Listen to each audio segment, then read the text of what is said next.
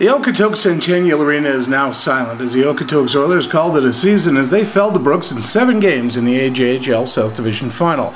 The Oilers cleaned out their lockers and said their goodbyes shortly after the season was done. There was definitely some regret, but as coach James Poole says, they left it all out on the ice. Uh, I think right now, you know, you see all the kind of the, the, the, promos of the league championship final going on, and you're sort of kicking yourself right now because you know, we know we are that close, and we kind of feel, uh, you know, it doesn't feel right that our season's over. I, I think we, uh, we're playing such good hockey there at the end of the season that. Uh, you know, I think we it's a little bit a little bit tough to see that the season's over and we're, not, we're still not playing. So rookie sensation John Edward had a great rookie season and an even better playoff, scoring the game-winning goal in six games in the postseason.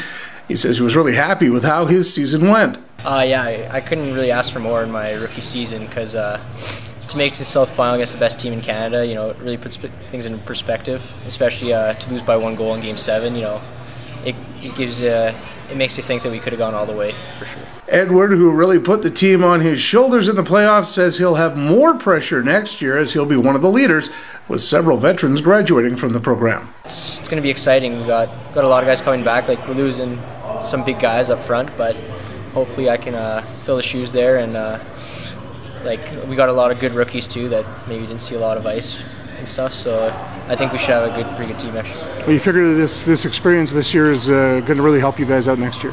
Uh, yeah, it, it, it could only do anything but help us really. Uh, like we were so close and we, we, pretty much had a taste of it, but uh, got, had it taken away from us. So that'll just give us all the more incentive to to take home the AJ next year.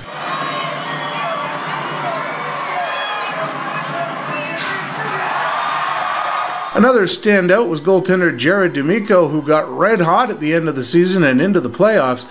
He talked about the change in the Oilers after Christmas when they became the hottest team in the league down the stretch. I think when it when it came down to crunch time, we really you know really buckled down and you know did did the right things, did the little things, and I think you know when a team starts to gel and a team gets hot, you just you just roll. And I think that was the biggest thing. Well, seven of this year's Oilers won't be back next year with young players like Edward and D'Amico in the lineup. The future bodes well for this Oilers team stocked with young talent.